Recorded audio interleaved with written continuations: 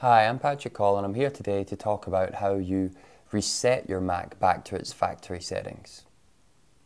So you may have a Mac that you want to get rid of and you want to get rid of all the details that are on there, all the information, all the, all the private stuff and you just want it back to how it was when you got it. Or someone may have given you a Mac that you want to do that to. There's a couple of ways we can do this. What I would say to do is you could restart your computer holding the power button and the option key Eventually you're going to see the grey screen pop up. You let go of the power key, hold on to option until you see a list pops up that tells you disk utility. And with disk utility, what you can then do is choose your disk and erase it. And from there, you can also choose options to reinstall the operating system. That's one way of doing it. There's a simpler way though. What we do is we go to disk utility. Go to Spotlight, type in the word disk, there it is right there.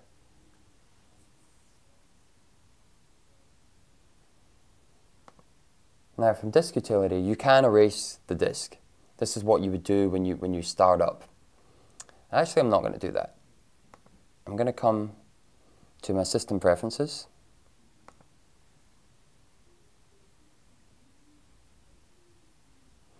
I'm going to go to users and groups.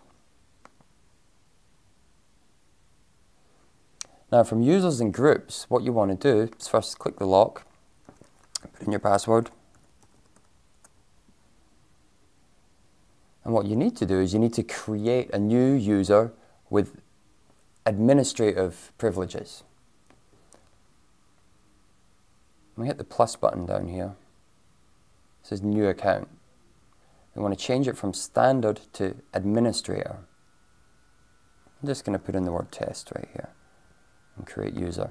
It's going to say you didn't put in a password. It's fine. Don't need a password for this. You might want to put in a password when you're doing it.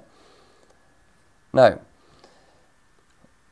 what having this other user does is it lets me delete the other home folder. So in this case, what I would want to do is log out of Patrick Coll and log back in as test. Then I would go back to users and groups and system preferences, choose Patrick Coll and delete it.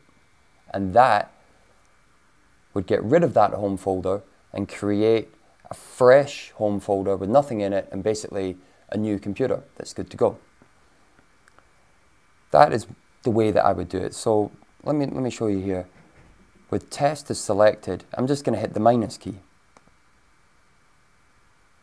And it's giving me these options here for deleting the user account. Can save the home folder to a disk image, don't change the home folder or delete the home folder.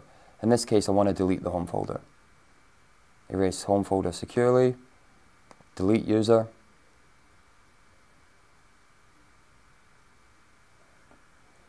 and it's gone.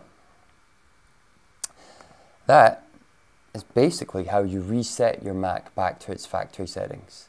I'm Patrick Coll. Hope this has been helpful. Thank you for watching.